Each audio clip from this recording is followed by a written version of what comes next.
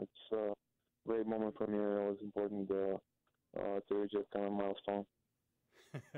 uh, so you've had a phenomenally successful career. Um, so many accolades achieved, but of course, the Stanley Cup is one thing that you haven't got to yet. How important is is it for you to get to the Stanley Cup?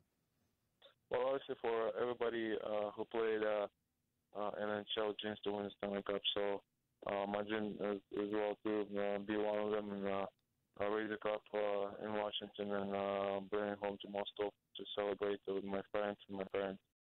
What would you say has been the secret of your success? How do you think you've been so good for all these years, Alex? Uh, just uh, I think uh, I stay healthy most of the time, and uh, it's uh, you know just uh, love to love to play hockey, and um, it's uh, uh, give me passion and uh, give me energy.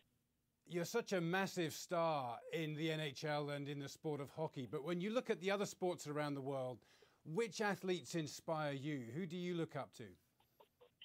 Um, of course, I, I like I like to uh, see when uh, um, I'll play Messi, like uh, was Jordan was playing, and you know it's uh, uh, the best players uh, in different sports. Uh, I like uh, to look at them and uh, learn learn from them. We don't do politics on this show, but of course, you are a Russian living in Washington, D.C. at a time when there's a lot of accusations being thrown around. Uh, how does that, that impact you? How does it affect you? Uh, I'm good with that. Uh, you know, uh, I have a good relationship with the uh, Russians and uh, with Americans, so uh, I'm in, uh, I'm neutral. That's very sensible. The fans don't treat you any differently.